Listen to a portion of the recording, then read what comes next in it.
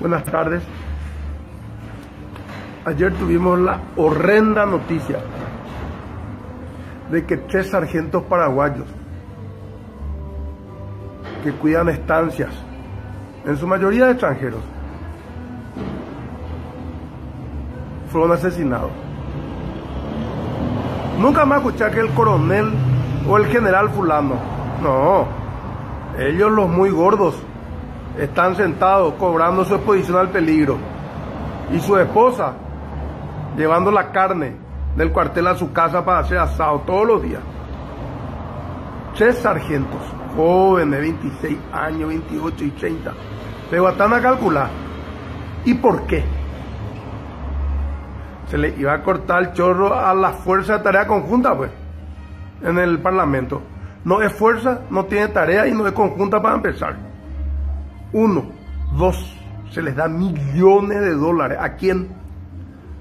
Al inútil de Soto, ministro de Defensa, quien debería estar viviendo en el norte. No, a de Estado Mayor, a de escolta. Tiene que estar sentado en su oficina, cuidándole el culo como le cuidaba a Stroessner. Y ahora cuidándole el culo a su amigo Velázquez y otros. ¿Qué hace el ministro de Defensa en un país en donde existe un grupo paramilitar? ¿Para qué está el artículo de la Constitución en donde se permite declarar el estado de excepción? No, hay que declarar el estado de excepción, pues, porque este es un gran negocio para las Fuerzas Armadas y lo fue para Cartes y lo sigue siendo para Marito. Se chupan ya a 500 millones de dólares al año en juguetes que no saben ni manejar. No, metralleta tuti tuti. Todo el día. Oye, Yubaja, nunca andamos ahí los militares, ni a los policías. Helicóptero. ahí están los helicópteros del PDP. De eh, ministro de Interior, PDP, va de oposición, pero la oposición está en el mismo juego que ellos. Fíjense, helicóptero donde llevan a traer para recorrer el área. Un puto dron militar que hasta envía misiles, compañeros, te cuesta 30 mil dólares. Adiós los amigos, ape a puteágina, por la muerte de los compañeros sargentos paraguayos. Un puto dron, sea. No, hay que comprar el helicóptero que vale un millón y medio de dólares de donde Juancho Villamayor y otros hacen negocio ni las fuerzas norteamericanas utilizan ya ahora helicópteros. En el mundo son drones artillados, compañeros, infrarrojos se le da a todo el mundo de noche. Pero están a calcular 10 tipos del EPP le hacen sucumbir a la Fuerza Armada Paraguaya. Una Fuerza Armada que tienen 27, 17 mil inútiles gordos, crachos, Yaguá Seiza, y unos tres mil jóvenes sargentos que van y mueren, y los otros, ahí están, jugando piquibole y con la panza que no pueden ni ver su pájaro. Ah, que Facebook me va a censurar otra este video, o sea, esa es la cagada. Fiscalía.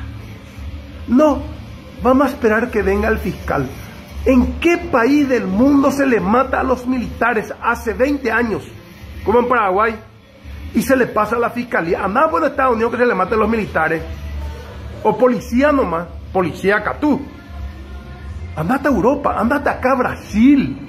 ¡Qué puta! Ta, ta, ta, ta, ta, ta, ta, ta, eh, Obama, es fiscalía, pijo. Hay que abrir una causa fiscal. La fiscala se va y va a medir el hoyo que hizo la bomba. Y el estupefaciente hay que mezclar para saber cómo se hace el, el cacho de la dinamita. Y ahí se pierden años y después un juez mata a que no entiende un carajo de este tipo de cosas. Jamás saca sentencia contra nadie, porque mientras tanto está la fiscalía pues, para cubrir esto. Y mientras tanto los militares no pueden actuar porque todo esto se judicializa. Al pedo. Al pedo. ¿Cuándo pico se les va a declarar la guerra a estos tipos en verdad? Y se declara el estado de excepción, compañero, en el norte. Se saca la población civil. Purucha, amigo. Va, esto la Tejanoa. O una la instructor de la SEAL. Eh, va, Embo. Varias veces. Ahora están otra vez allí. Espectacular son. Pero no sé yo. Yo pedí una vez que vengan los rusos, que son los más capos en este asunto. No, rusos comunistas, Gina. Que puta, Putin es cualquier cosa menos comunista. Entonces, hago una síntesis. Siempre son sargentos los que mueren, nunca un general Kiracho. Helicóptero, ¿para qué? Hoy 30 mil dólares cuesta un dron artillado, compañero, con visión nocturna.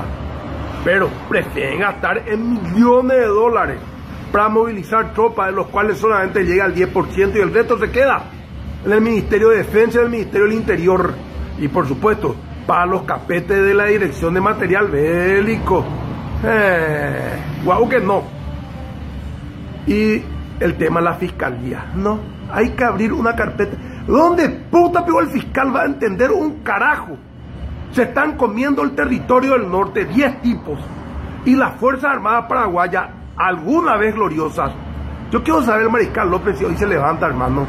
Y mira, sargentos muertos por cuidar la estancia de los era Favero, eh, Weber, eh, no digo menonitas, pues los menonitas se integraron y están trabajando, pero estos invasores, estancia acá, estancia allá, 50 mil hectáreas, y le dan trabajo a una machú, y después le tienen a los perros para la zafra, y después, ¿qué es lo que hacen?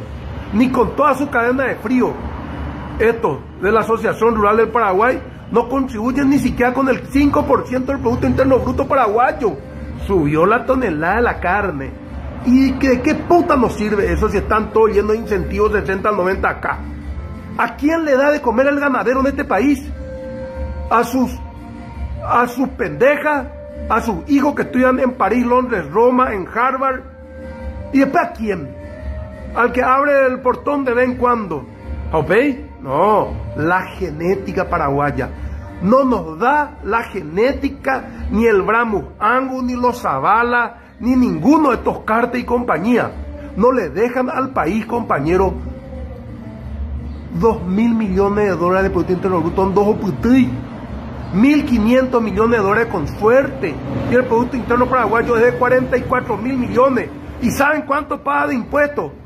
estos ganaderos asesinos, esos son los asesinos de verdad, igual que el EPP, los ganaderos que deforestan y según Yera, ay, no hay que echar en los árboles, ¿para qué queremos árboles? Para mirar como museos. Y Ñaracó, ¿saben cuánto le dejan al fisco paraguayo anualmente? 60 millones de dólares. Y ocupan la mitad del territorio paraguayo. ¿Y saben cuánto necesita el Estado paraguayo según su presupuesto?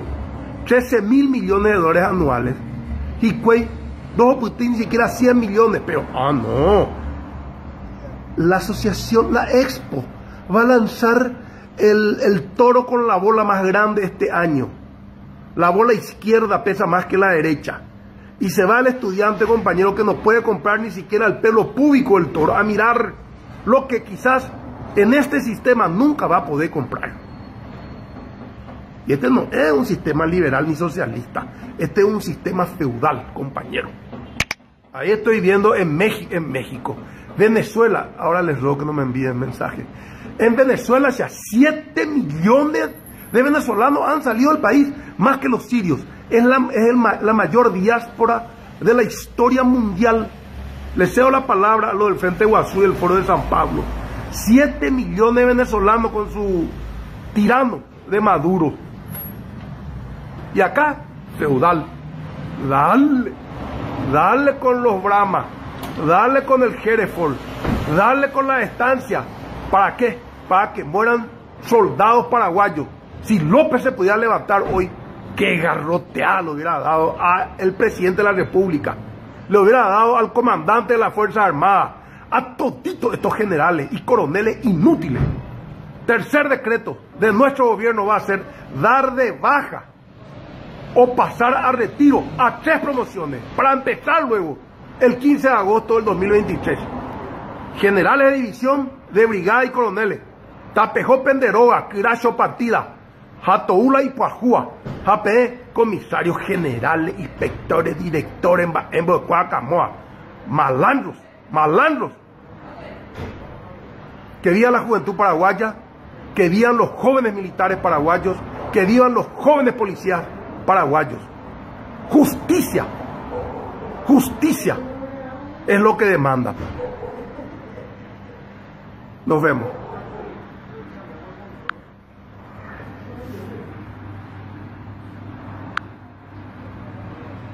Oye, yucao la de gente cuera. Eh.